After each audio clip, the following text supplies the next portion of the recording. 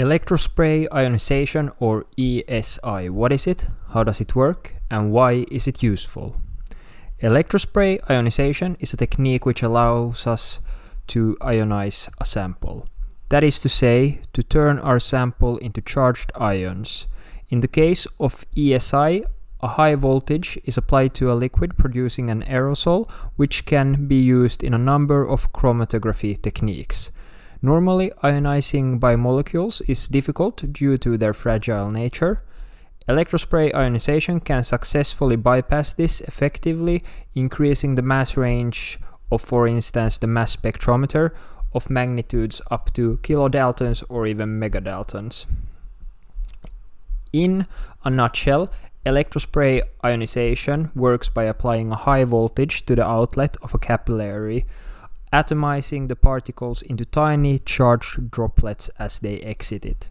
As the solvent evaporates, this charged intensity exerted on the droplets increases further, eventually causing them to split into charged ions, which creates a gas phase ion. Let us take a closer look at how this process works. So this electrospray ionization process can be thought of in three distinct steps.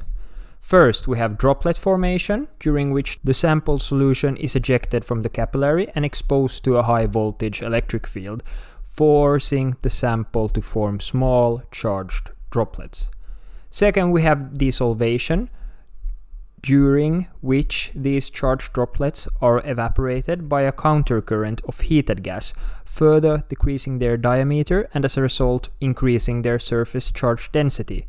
When this charge becomes too great, the Coulomb repulsive forces within them exceeds the surface tension and this causes them to undergo fission, or in other words, divide into even smaller charge droplets. This leads us into the third and final step, which is the gas phase ion formation.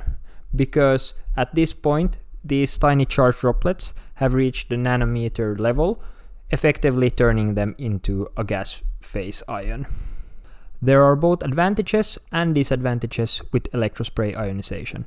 The main advantage of ESI is that it provides a relatively simple way to ionize non-volatile solutions both for inorganic substances as well as biomacromolecules.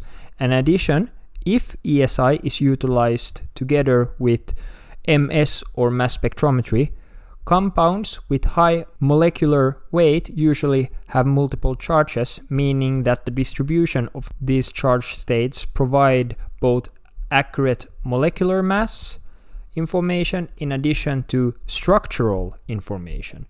ESI can also provide multiple ionization modes, both positive as well as negative. The disadvantages of ESI include Experimental parameters and technical conditions must be carefully selected. There is also a limit to the choice of solvent and the range of solutions that can be used. Mass spectrometers, on the other hand, differ widely in the response to different complexes, preventing quantitative analysis. Since solution parameters control the spray process, there is fluctuation in the ion signal even under good conditions. Electrospray ionization is indeed useful due to how it solves the problem of high polarity, ionization of thermally unstable proteins, and the determination of the molecular mass of macromolecular organisms. ESI can be applied to analyze peptides and proteins. Going even smaller than that, it can also be used on nucleotides. And if we go even smaller than that, it can also be used on the molecular mass of ions. So there you have it, electrospray ionization. Hopefully that gives you a nice introduction to the subject. If you found this video helpful, please take a second to share it with someone that could benefit as well. I have also left a video where I talk about MALDI-TOF, which uses another version of preparation used in mass spectrometry. This is called MALDI or matrix assisted laser desorption ionization. So that is sort of the twin to this electrospray ionization. So if that sounds interesting, please check that out by clicking the video on the screen now. With that, until next time guys.